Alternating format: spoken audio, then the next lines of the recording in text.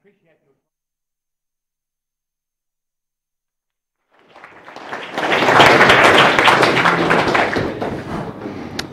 Okay, we good to go? Cool. All right, thank you, everyone. Um, so tonight's talk actually came out of one of those um, innocent little questions I got the end of a, of a planetarium show.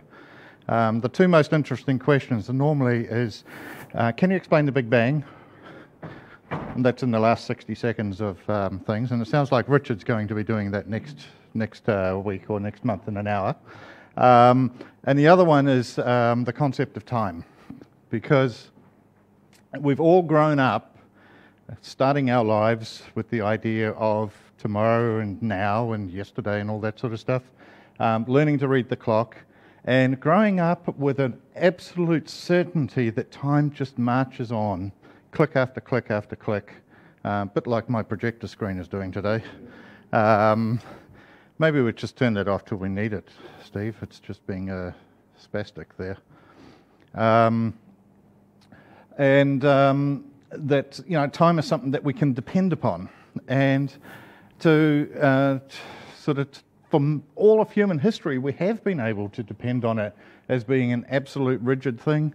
Um, in fact, Galileo, um, in the absence of uh, really good mechanical clocks and all that, he made his early physics discoveries just by counting the pulses in his own body. Um, of course, I don't know what happened to his results when he got excited about some of the insights that he was getting, um, uh, but um, he, he made some brilliant insights with nothing more than the regular pulse of his heartbeat that he was measuring uh, himself. So, time is something that we take for granted.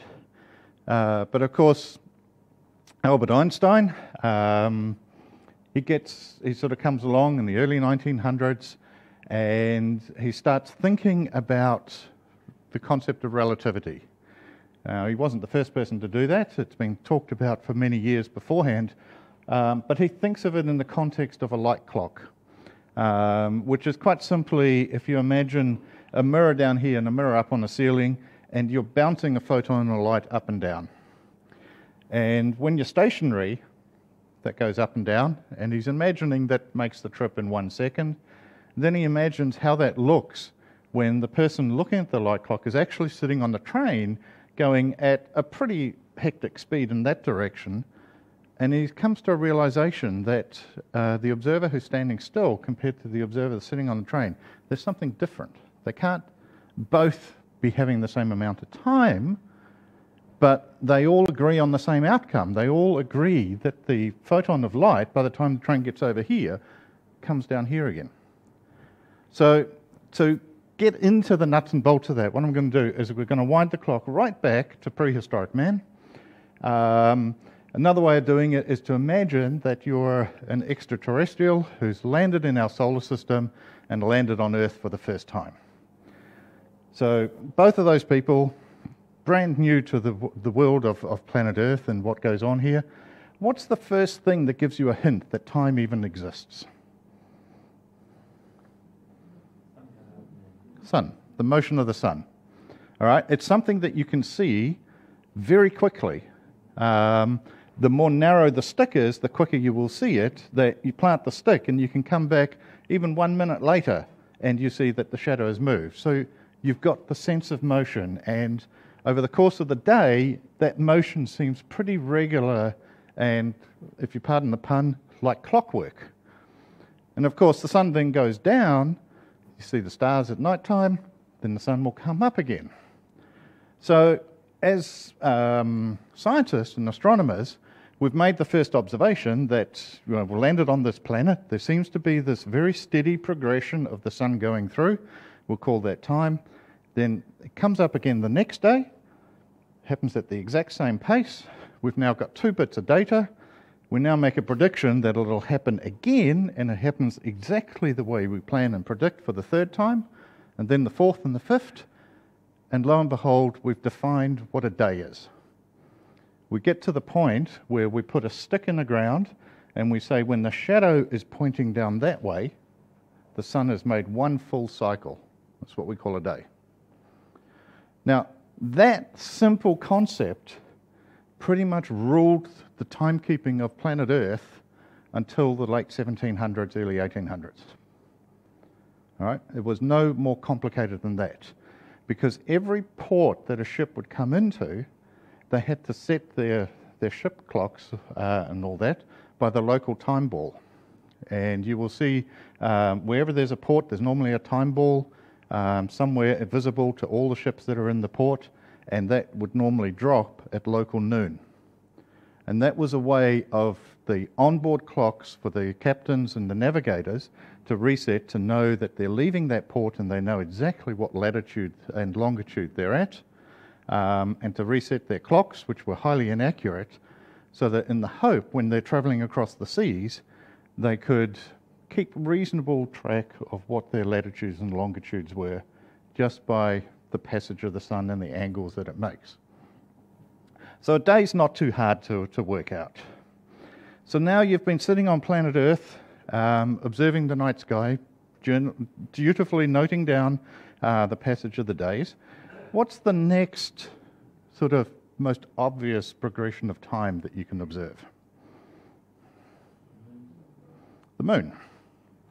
So we don't know if there is life out there anywhere else, but we believe our moon has been instrumental in allowing life to evolve on planet Earth.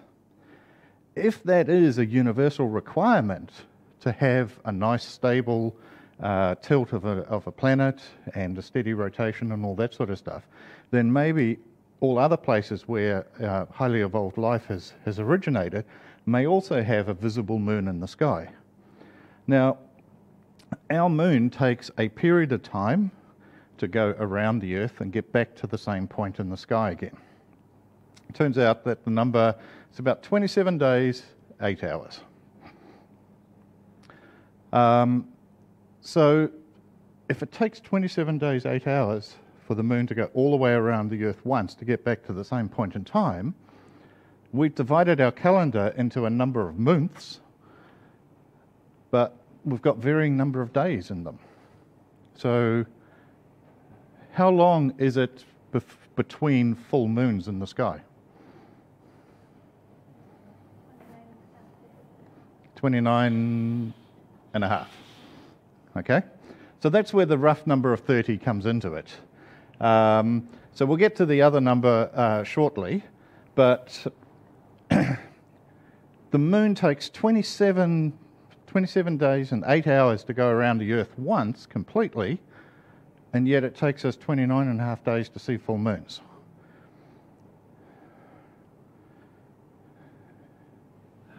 Marilyn? Any idea why? Because the Earth is rotating around the Sun as well. Yeah, the Earth is orbiting around the Sun. Yeah. So um, if I look at that projector bulb, and I'm sitting over here, the shadow is cast in a certain line. All right. After 27 days, the Earth has moved a percentage around its orbit. So to get a full moon alignment again, I've now got a different angle to reach. And so the moon needs to go that little bit further, which turns out to be about a day and a half, almost two days, uh, more than the full type of orbit to go around. And lo and behold, to observe full moons, which is what a primitive man would have been done, doing, they would have determined that you know a month is around 29 and a bit days long. So it gets us about 30 days. So now we've got days, we've got months. Uh, those are things that everybody who is living on the planet can experience and understand. How do we determine years? The seasons? Are the seasons accurate enough that you could pinpoint? The stars. The stars. So the moon's relatively close, the stars are in the background. The seasons give us a hint in terms of where we are in that cycle around. Um, but the stars themselves, if we look at the, say, the midnight position of the sky, we will notice that after 365.2524 days, the stars come back to that exact same point again. So, this is where the annual cycle comes into it, the yearly cycle. So, so far, we've got our days, our months, and our years. If I ask you what the time is, what are you going to tell me?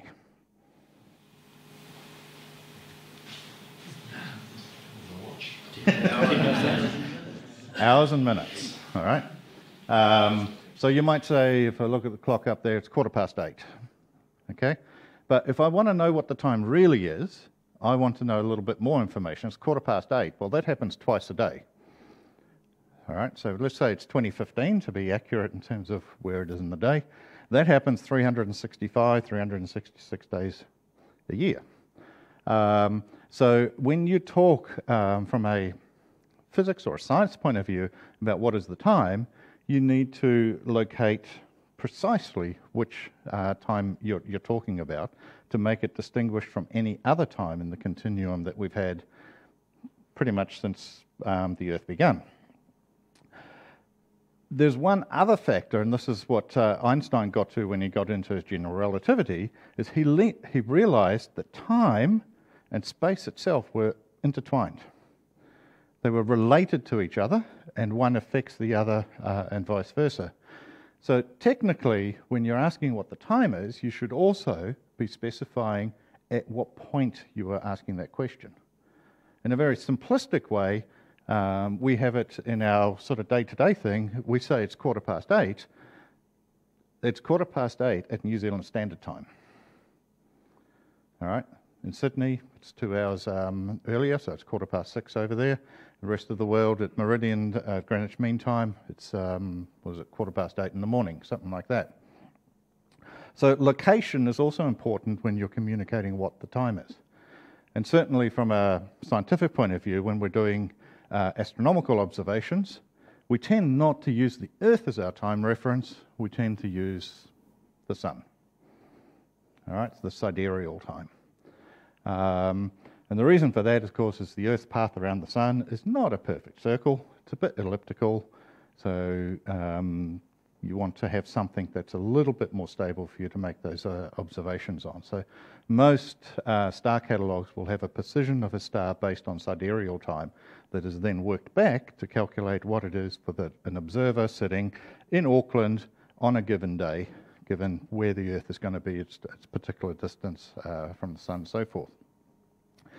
However, let's go down in the other direction. One of the things that, when I was a kid growing up, always sort of puzzled me. To put it in context, I was born in 67, so I was born into a decimal world and I was born into an SI world, standard units. All right, so none of this uh, pounds and shillings nonsense. None of these uh, feet and yards nonsense. I was meters and seconds and kilograms. Um, however, as a result of that,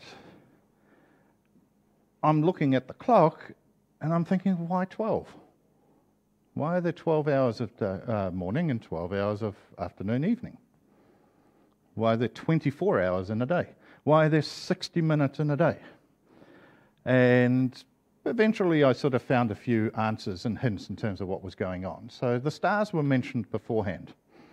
Um, best as I've been able to ascertain, the division of the night was done uh, in terms of what we use today for hours. That was done in the sort of uh, pharaonic era of the Egyptians, so the pharaohs.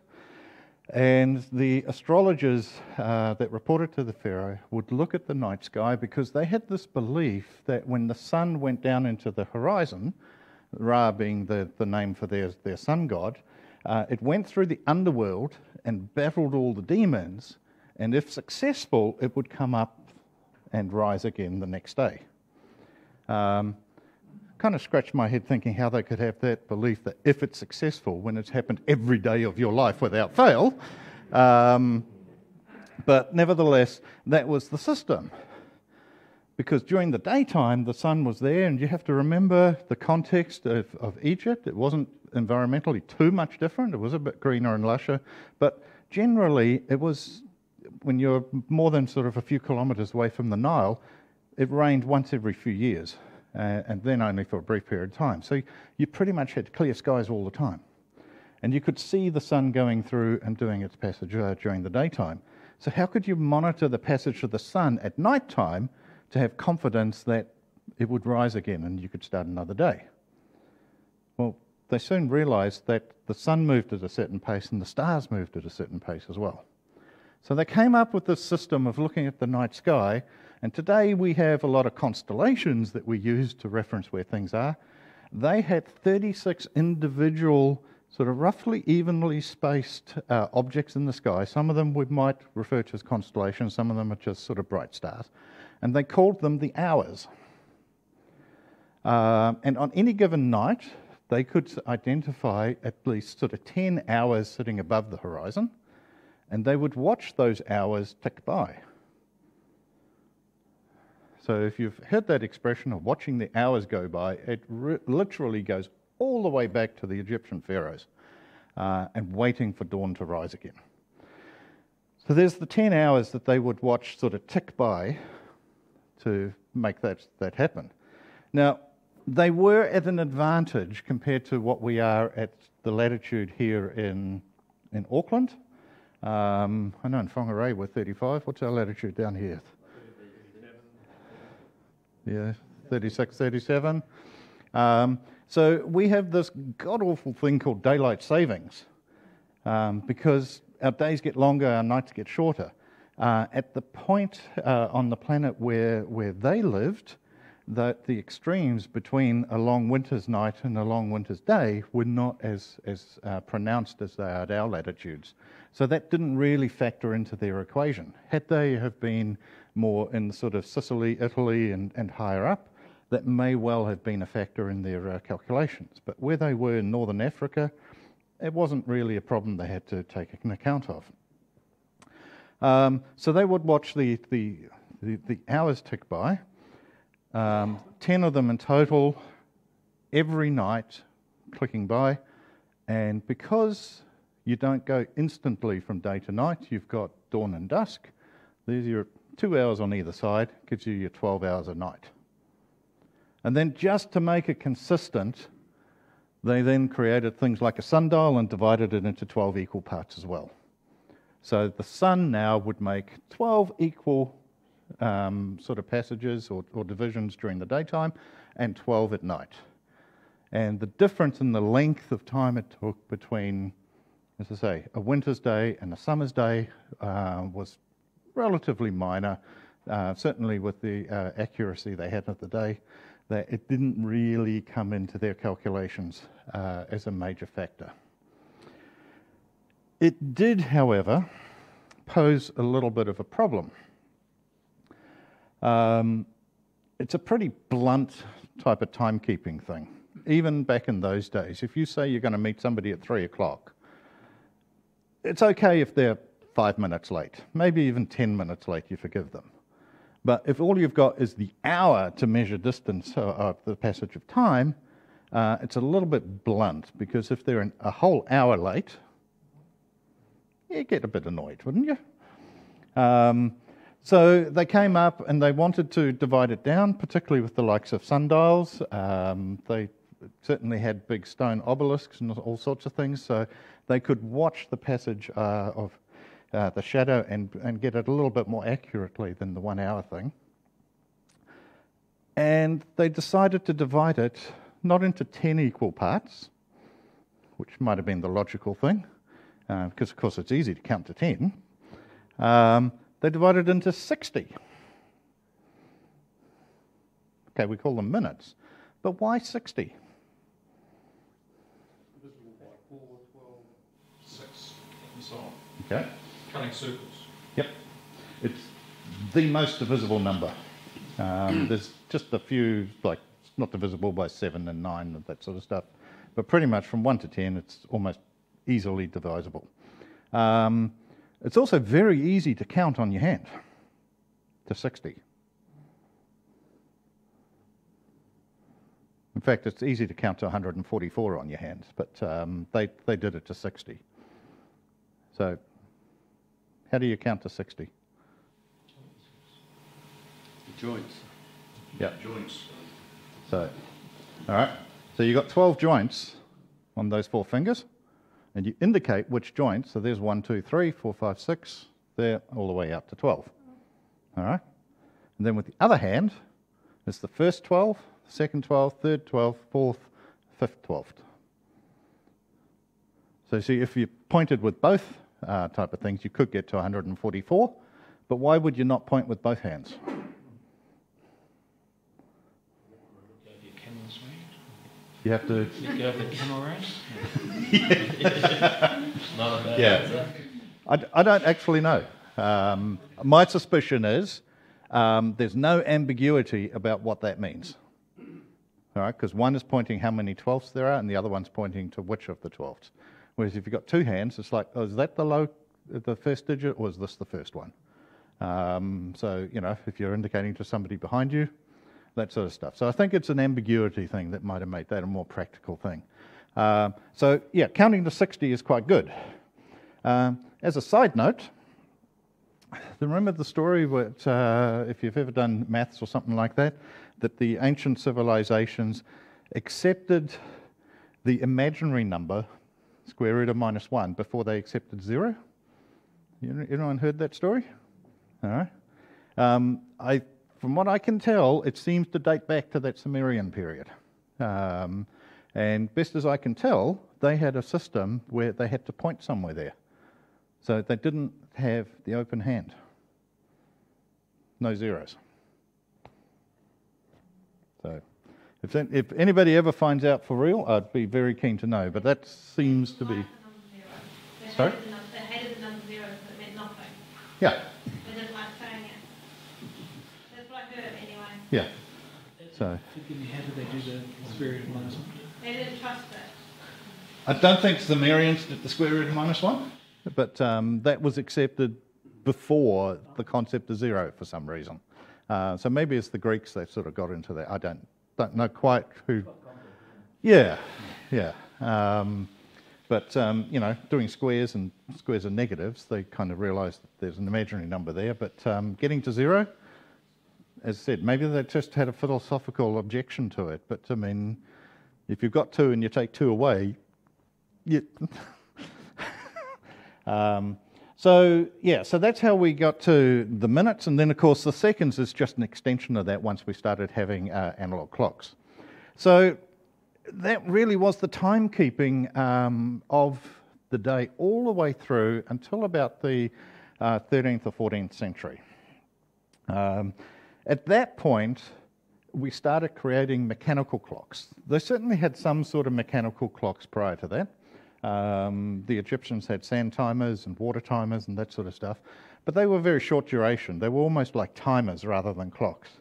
Um, around that uh, 13th, 14th century, we started having clocks that would um, just keep ticking away for days on end. They weren't terribly accurate, um, but what do you think that those clocks highlighted with the whole timekeeping problem?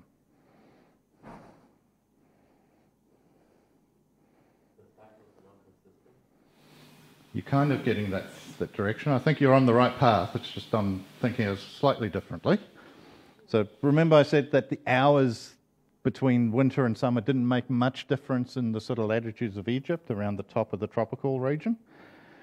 By the time you got to a place like London, for instance, which I think is about 50 degrees north or something of that nature, um, if you were employed to work a 12 hour day, which is not uncommon back then, um, in summertime, you worked a long 12 hours. All right? In winter, it was a very short one. The mechanical clock highlighted the, the, the sort of discrepancy uh, or the problem with just using the passage of the sun to count the hours down and dividing it down that way. Uh, and as mechanical clocks got more and more accurate, timekeeping had to sort of revert uh, or, or turn about face, and we ended up getting to the point where we needed to create a standard for what a second is. So, how do you define a second? Uh, and the early clocks uh, struggled with all sorts of mechanical limitations to do that. I've already mentioned sort of ship's clocks. Um, around the sort of late 1700s, early um, 1800s, they started to have clocks that could keep time on ships without succumbing to um, the, the moisture um, and the um, temperature variations, the humidity problems, and all that sort of stuff that you get by having a clock physically on board a moving, rocking vessel and all that sort of stuff. I mean, grandfather clocks are really good, um, but you put that swinging pendulum on a swinging boat and it don't keep much time anymore. So as we get uh, to the point of the late 1800s, we're getting to the point where we've got nice accurate clocks and the seconds are clicking off. Um, by today's standards, yes, they lose a lot of sort of seconds per day or maybe even seconds per week if it's very accurate. Uh, but it means we have a very good way of keeping track of time. It's around the mid 1800s we started to create these things called time zones. And that was brought around by the fact that now we had transportation technology that would go over rail, whereas previously pretty much all uh, transportation was done by sea. Now, at sea, you don't have a problem if there's a vessel coming your way. There's rules of uh, the sea that they navigate and pass each other without colliding. When you've got one rail between London and Birmingham, and that one leaves when the time ball says it's midday in Birmingham, and that one leaves when the time ball says it's in London. And those time balls are working on local midday type of time periods. The schedule is such that those trains would collide on the tracks. So they ended up creating a standard time zone, uh, and that's pretty much what we've now inherited is that the world is divided there's, there's some half hour time zones, uh, but generally into 24 time zones uh, around the world. And it's just political and geographic boundaries that define which one you fall into half the time. So we've now got to a point where we've got time being clicked off on a second by second basis. Then along comes Einstein with his thought experiment. And if you think back to that light clock I mentioned in the very beginning, so if I stand here perfectly stationary, we would both observe the light photon lifting up from my hand, bouncing onto the ceiling, and dropping back down a second later.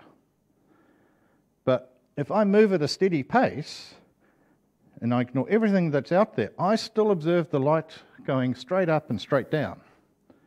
In other words, it's literally just doing the same as if I was standing still, but you've observed it going at an angle as I've moved across at a steady pace and coming back down.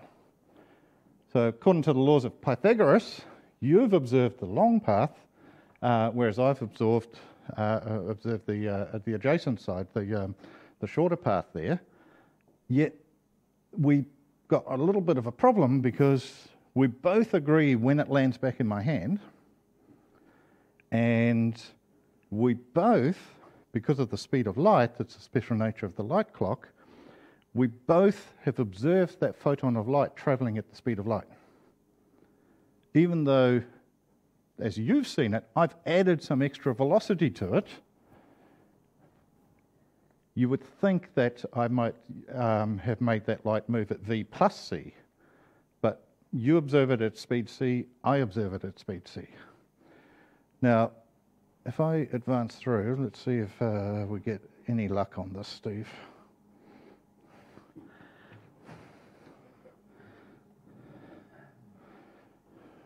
Fingers crossed my laptop uh, behaves.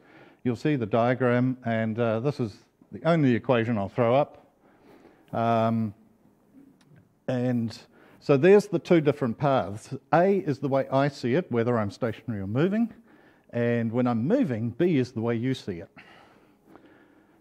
And given that the light is always traveling at speed c, the only thing that can really bend and, and, and meld in this equation is what the observed time is um, for, for the photon versus uh, for the observer.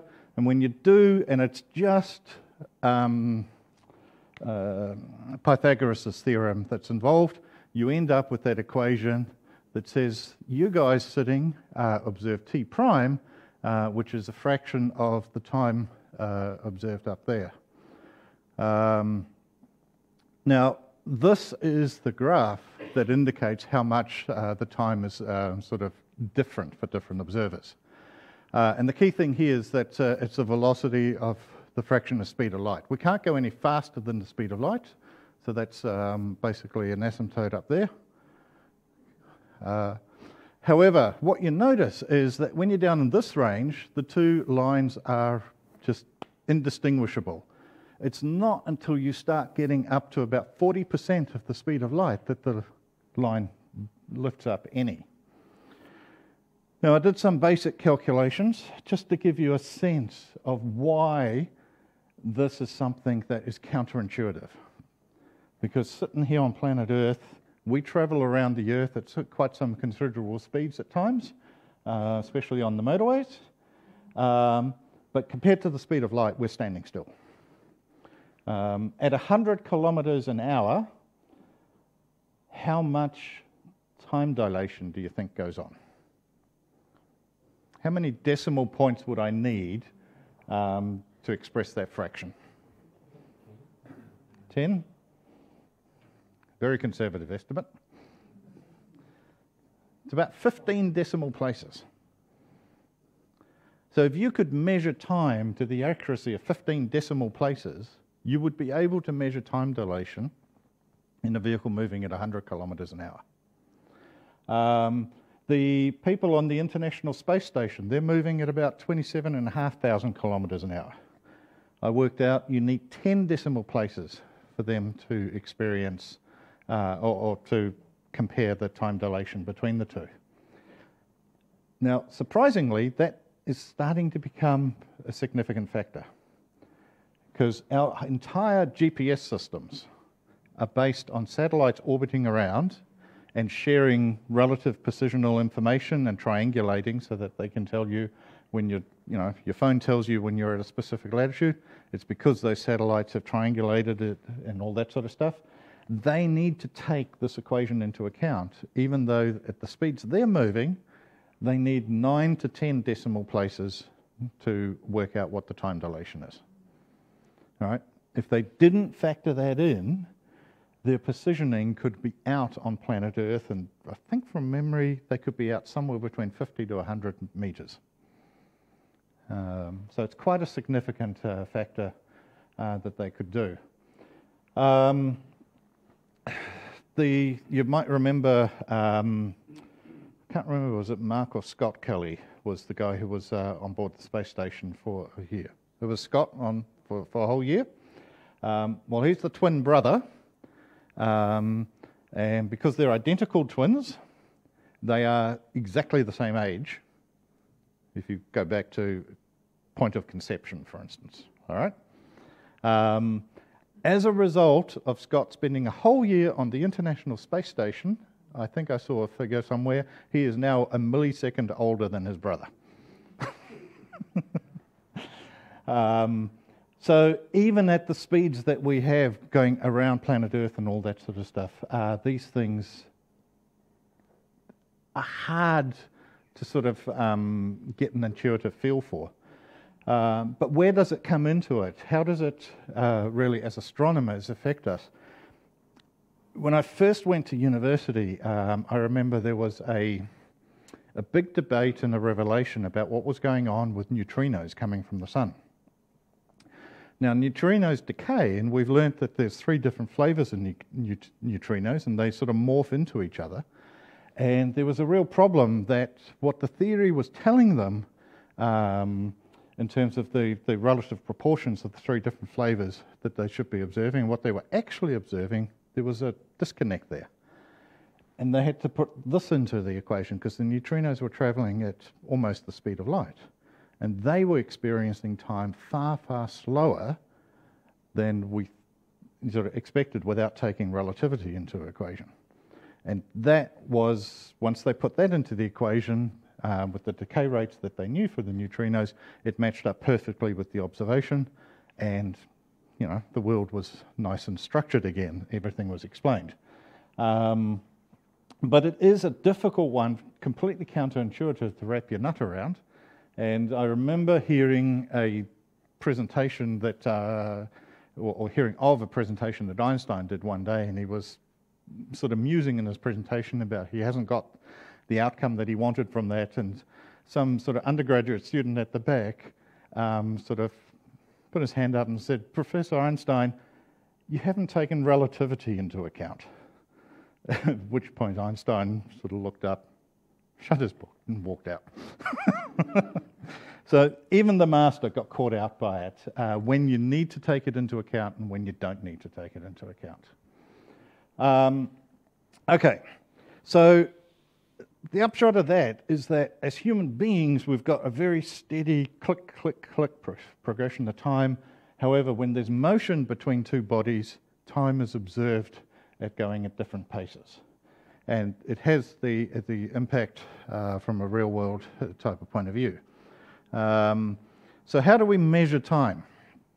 Well, today, we no longer use the motion of the Earth to de- determine time. One reason for that, it might have done us uh, pretty well for thousands of years as we built our earlier civilizations, uh, but now in the sort of highly precision environment that we live in now, we need a better way of determining the second that is not based on the rotation of the Earth, uh, that is not based on the orbit of the Earth. In fact, that is not based on the solar system as a whole. And one of the most reliable methods that's been used for the last couple of decades uh, is basically a cesium fountain. Um, so that cylinder tube in there has evacuated uh, cesium in it. And that cesium oscillates from the ground state at some, you can see the number up there, some 9 billion odd times per second. Um, I don't know how they managed to count this and how they came up with that specific number, but that's what has been agreed upon as the number of oscillations per second. And they've created some 400 of these clocks, and they've spread them around the world in about 70 different locations. And they take the results from all those 400 clocks to come up with an averaged time that we use to record uh, our, our, passage of time uh, these days. So that's the international sort of uh, atomic time, or, or TIA uh, that is used um, for having a precise progression of time as it goes through. However, they can do better.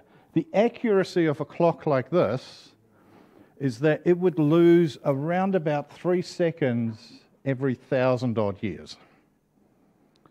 Now, that's better than a mechanical clock for sure. Um, but there are some people who are just not happy with that level of imprecision. And so um, they've been hunting for a more accurate clock. And Einstein himself actually kind of gave us a little bit of a hint that there might be a better way of figuring it out.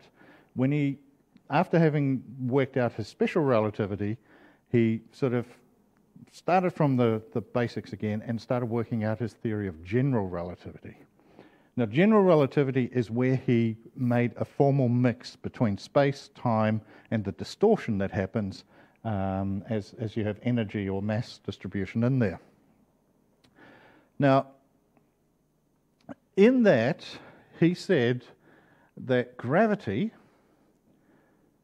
is like a constant acceleration force. And so that got some people thinking is that if gravity is like a constant acceleration force, when we got our feet down on the ground, that is closer to the gravitational source that's in the local area, namely planet Earth, than my head, or the top of my head, that is six foot away. Now, albeit six foot in the overall scale of things um, of, of the size of the Earth, which is you know six and a half thousand kilometres in diameter or radius, um, it's a very small type of thing, but nevertheless, there is a gradient, and so the gravitational force that my feet feel should be a little bit stronger than what the tip of my head feels. And as a result, my toes should be a little bit older than the tip of my head. All right?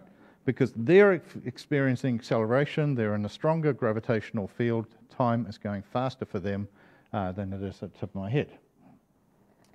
So, um,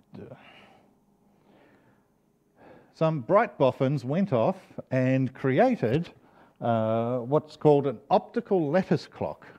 So, this is the closest thing to Einstein's theoretical uh, light clock that there is. This is a relatively good picture, although very much simplified. You can imagine the equipment is a lot more complex than what this picture shows. Um, but it's a, it's a cube of ultra cooled atoms.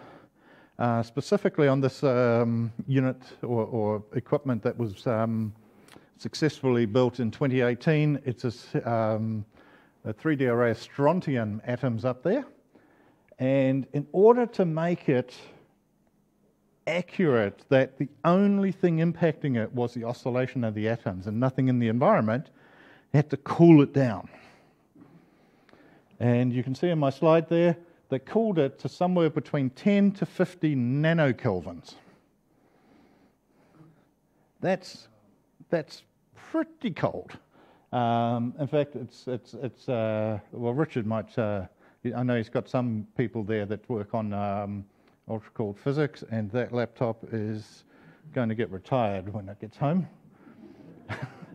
um, but they have a, a, a, cube of somewhere between 10 and 100,000 atoms there. Um, so it's about 20 to 60 micrometers in size. And the oscillations that they uh, excite this cube with, with the um, precise frequency of the laser, has a precision of uh, 2.5 by 10 to the 19, which basically means this clock can keep time that is only just 200 milliseconds in the 13.8 billion years since the Big Bang. That's how accurate this clock is. Now, the timekeeping is a nice, uh, nice um, bonus from that. What they've really set out to do here was to try and find some way of exploring the realms of the quantum world um, with you know, the sort of very low, uh, low energy uh, type of atoms and all that sort of stuff. And, you know, they're still working quite significantly on that um, type of project there. But fundamentally, this clock is now able to keep a very accurate, and they've proven it, that was in 2018. They haven't replaced the um, uh, the, the cesium fountain clocks around the world yet, but uh, if they can make the, enough of these and make it reliable, that they might well replace that in years to come. Um, but the one they've built is in Boulder, Colorado, and it keeps time to that level of accuracy. And when I first heard about this, I was, um, well, my mind was completely blown because if they move this two centimetres up. So if they put a phone book under the thing, they can measure the time difference. That's how sensitive uh, this is to the, um, Einstein's gravitational field. So things like this sort of leave you in no doubt about the whole concept of relativity and the integration of space-time and all that. Um, I just find it personally, you know, fascinating that we now actually have a piece of technology that Einstein, Einstein could dream of head. Um, and that goes beyond anything that he ever dealt, uh, um, specified. But it does sort of raise a little bit of a, a question, if you like, um, for us as we go out and explore um, the universe. Let's say we set up a settlement on Mars. All right? Mars has a different strength of gravity because it's a different mass of planet, so does the moon. So whilst everything comes from Earth, that's all fine, but by the time you've got a civilization on Mars that's a thousand or two thousand years down the track, they're going to want to keep time according to the way they experience it on Mars. All right. Now, on Mars, how many moons does Mars have? How many moons can you see? None. Um, they're captured asteroids, unlike our moon. They're not visible to the unaided eye. Um, because they're only about sort of half to a few kilometres in size, I believe. Um, so, you know, they don't cast shadows at night the way our beautiful moon does um, and all that sort of stuff. So it's probably great for astronomers because you never have to worry about the moon. Um, but it probably means that if life had originated on Mars, our sense of timekeeping would be days. We probably wouldn't have months We might have done something around seasons, but we certainly have years. When we go further, probes going out into um, the, the, the sort of vacuums of space out beyond our solar system now and all that sort of stuff, the speeds they're going, as I showed earlier on, the level of time difference they're observing is very small. But when we get to the point of finally, well, if we're lucky enough to actually confirm contact with a civilization somewhere else, in order to understand what's coming from it, we kind of need to understand what what their relative motion is to us in order to sort of figure out if we're keeping the same time and what the message signals are.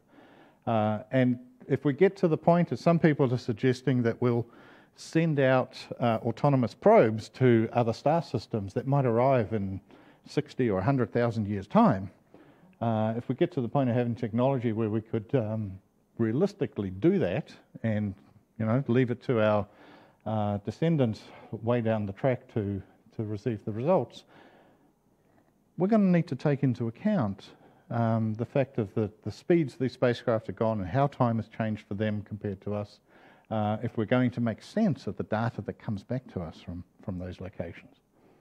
Um, same thing when we study the physics around what's going around black holes and all that sort of stuff. The, the gravitational field around there, the speed those particles are um, moving, particularly around the event horizon, where we see, you know, X-rays and gamma rays coming off because of the high energy uh, that's involved there. We need to take account the fact that those particles are experiencing time very, very different scales to what we do here sitting on this little planet we call Earth. Uh, so to wrap it all up, I'm going to take a chance that uh, my system uh, does it. So rather than summarizing everything myself, I'm going to let Brian Cox uh, have a crack. And uh,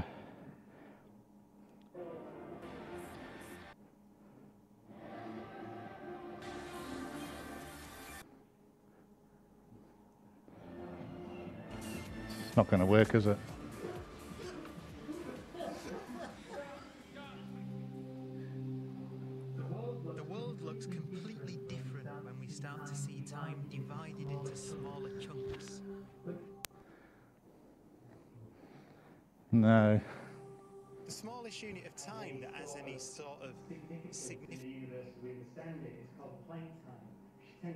Into the mind.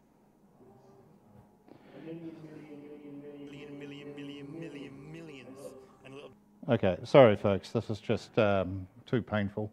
Um, what I'll do, I'll get Chris to, to send the link out. It's only a nine minute video, but it kind of, Brian's an excellent communicator. And if you Google him, he is talking about time so many times on YouTube.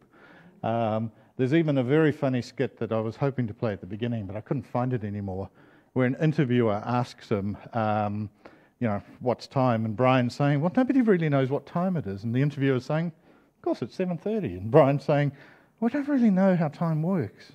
And the interviewer's like, yes, we do. It's 7 flippin' 30. um, so if you see that one, that's, that's worth uh, having a look at as well. Um, he did mention Planck time there, and I've got a little bit of, of, of time free. Does anybody want to get, to, or, or actually, I'll put it to you guys. Anybody got an explanation for what Planck time is? As I understand it, it's the quantization of it, that's the smallest chunk of time you have, is that right? That's often the interpretation given to it.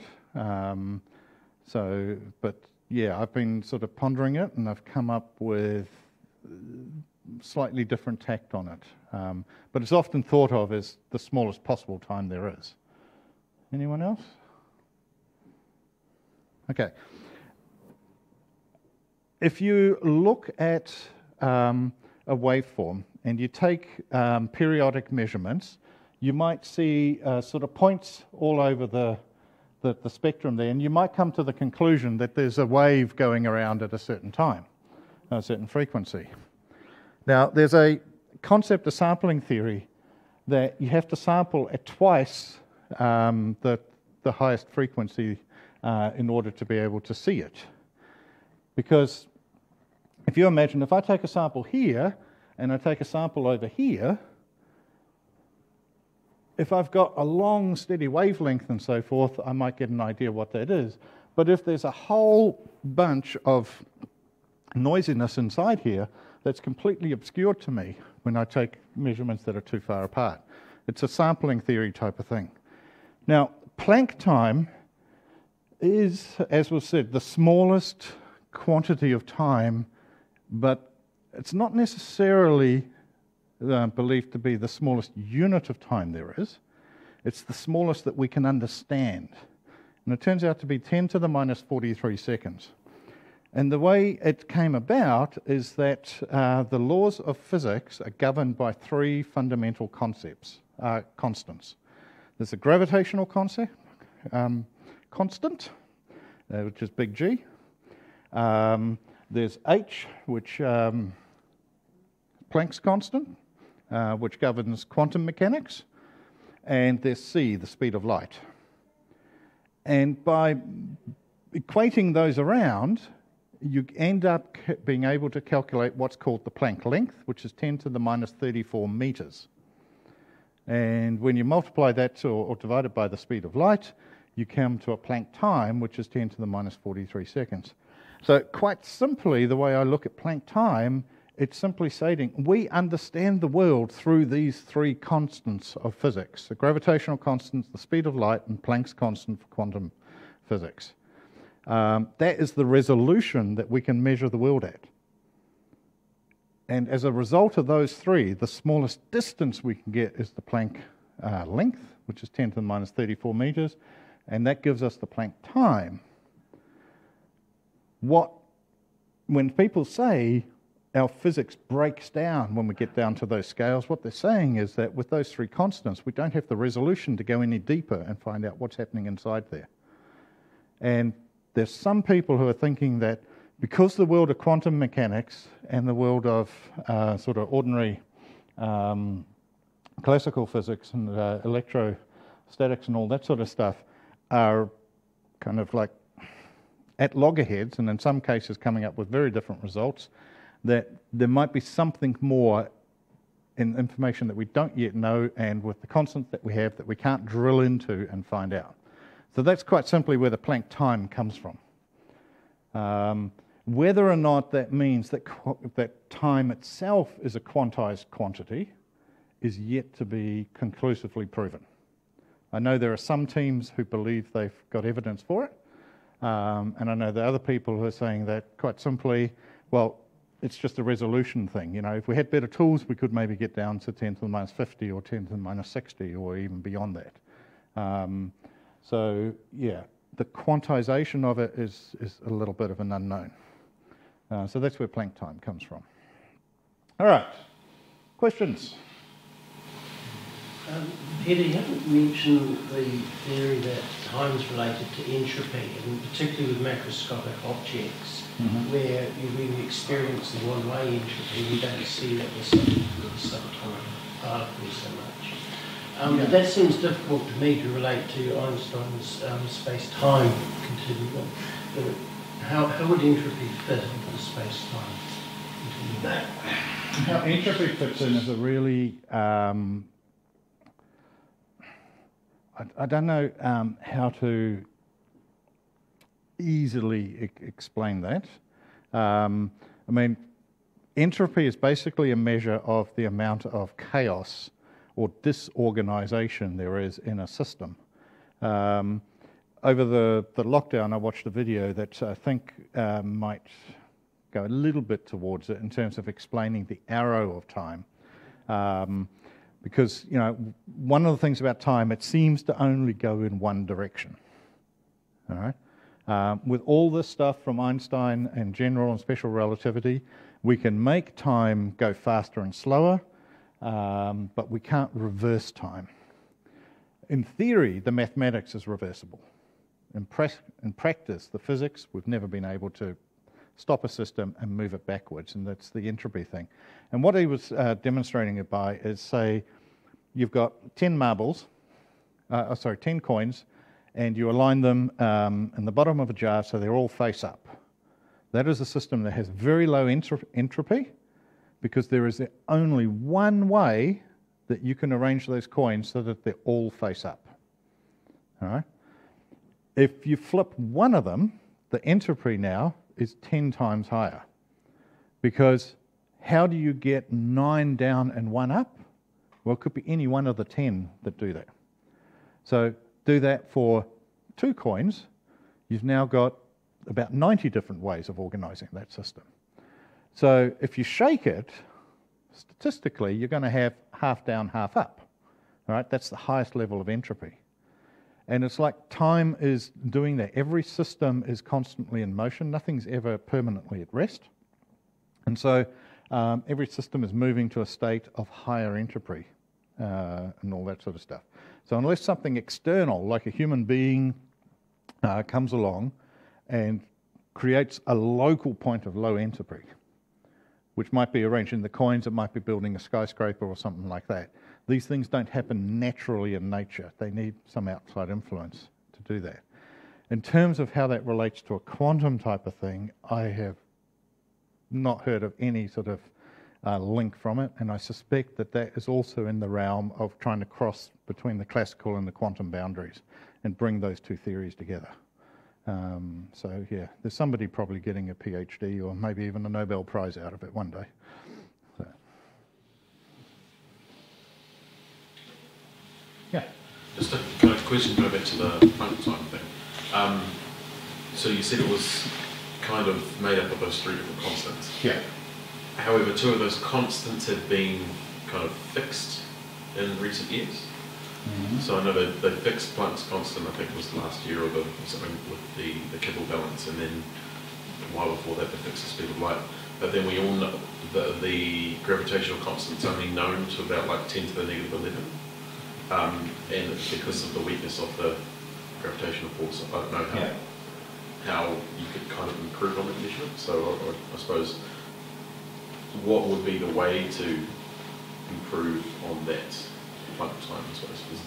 Yeah, well, you know, when you're saying uh, fixed, um, what we're referring to is they've sort of got to a point where, with the equipment they've got, they can measure it to a certain level of precision, and then it's just like the distance between the Earth and the Sun. They've said that one astronomical unit, that's the length we're going to define it at. And the same thing with the Planck's constant um, and the speed of light and all that sort of stuff. So they've they've kind of made a call based on the precision we've got, what that number should be that everybody uses for their stuff. The number itself, to some degree, they could have fixed it anywhere in that that, that sort of range because it's an arbitrary type of thing. Um, if you think about it, if we do ever make contact with another advanced species somewhere else, they won't measure time in seconds, they won't measure distance in meters. They will have their own units, which is based on the environment in which they evolved and, and, and developed their scientific basis and knowledge. So we'll need to have some sort of common reference point. But the physics tells us that they too will have come to an understanding of the natural units, which is, you know, the Planck time, the Planck length, and that sort of stuff. Those are what we think the most fundamental things that is achievable to be measured uh, or, or theoretically reckoned. So it may well be that when we do have, you know, alien communications and all that sort of stuff in millennia to come, that that will be the, the common basis. And we'll just, sort of have a translation for Earthlings and a translation for Vulcans and a translation for everybody else.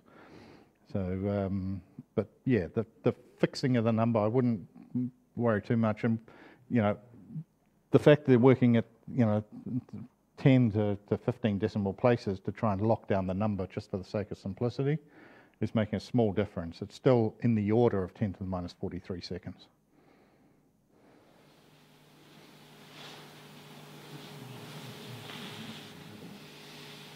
Yeah. How do you measure the accuracy of a really accurate You saw that number I had up on the slide beforehand. Um, uh, you know, I mean, to be accurate to 19 decimal places, you know, there's that many oscillations per second. Um, I honest, I mean, I even struggle with the um, with the cesium fountain, how they how they measure nine billion something oscillations per second. Um, yeah, from the little that I've done in terms of um, reading up on the apparatus, they excite it with a certain precise frequency of laser, and I think therein might lie the secret of how they do that. But that answer you'd probably need to track somebody down who works and builds these things. Um, they hopefully would know the answer. Um, Because the fact that itself seems a completely arbitrary thing, it is. and then you're just trying to create a device that Counts nine and a half Yeah, billion of them or with high trillions or what. repeatability Yeah. calculates an arbitrary number. Yeah. Yeah. Um, so yeah, as I say, the engineering of a, of a thing like that is uh, not something that I've looked into any great thing, but uh, let's just say very accurately. so, all right. Anyone else? Yes. So if you measure the constants to a higher precision, would the Planck length then shrink? Um, you, you'd, you'd home in on it, but you know we're talking about Planck length being of the order of 10 to the minus 43. Um, so I don't know what the exact number is. Let's say it's 4.3. If we get a little bit more precision, it might go to 4.25. Still, the order is 10 to the minus 43. So we're quite comfortable. We've got the order of magnitude pinned down. It's just you know, is it four or 4.2, whatever the number is. Accurate, could be infinitely small. No, it could be infinitely precise. yeah, you might be 4.2136789 or something like that. Uh, and there are one or two constants that they have been able to experimentally measure, and I can't remember what it is, but it's a fascinating achievement that physicists always sort of uh, quote when they go for funding. It's like, see, we can do it. Um, I can't remember, is it the electric force or something like that? And they've got it to 10 or 12 decimal places and they've got it to that accuracy in the uh, in the theory and in the experiment. Um, so you know, there's hope that some of these fundamental concepts that we will get better technology and be able to nail it down. Uh, but what people are really hoping is that the more precisely we try and measure it, and that's what the guys who created this optical lattice clock are really trying to work through, is that we might discover some new properties of the quantum world that help us understand it better and what's going on in that area. Because as much as we now accept quantization, nobody understands why. Why should the world be quantized in little energy packets? Um, that is something that you know string theory is trying to explain it in one direction. There's other theories going in other directions. They've all got equally valid arguments for, um, but they've all got points of contention that is working against them. So um, this is very much a jury's out. And um, you know, as I said, there's a Nobel Prize waiting for somebody if they can figure it out. Yeah. Is time a fourth dimension and why? Yes, um, absolutely. Uh, when we talk about space time, we're talking about the three spatial directions, and time is a fourth dimension. So um, there is something um, called the invariant interval, uh, and it's a feature of special relativity in particular uh, when you study it. And it basically says that everything is always moving at the speed of light. I'm paraphrasing it and simplifying it really quite simply. Um, so if you imagine an arrow um, from the floor going up here, uh, being time, and if we talk about a one-dimensional space uh, going across horizontally here. All right. When I start the presentation, I'm here. This is my here and now point. All right. I have not moved out of this room, so I haven't moved this way, but I've moved forward in time. So my here and now has moved at the speed of light through time, not through space. The invariant interval basically says if I moved at the speed of light that way, time would slow down to me to the point where if I could actually get to the speed of light, time would stop. So, quite literally, if I was moving at the speed of light, I would not experience any movement in time, and I'd be able to get all the way over there at the speed of light at the precise time that I left. Now, mass is not able to be accelerated. There's some physical boundary, and we don't quite have all the sort of conditions and uh, how and why that is.